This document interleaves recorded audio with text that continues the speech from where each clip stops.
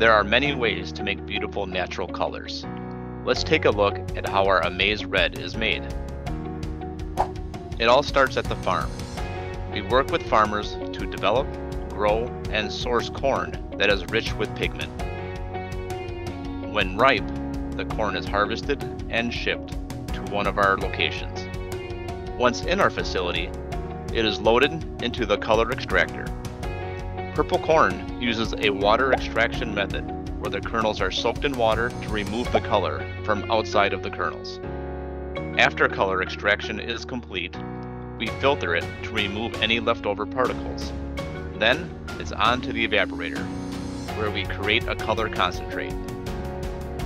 From here, the color can be kept as a liquid or be dried into a powder.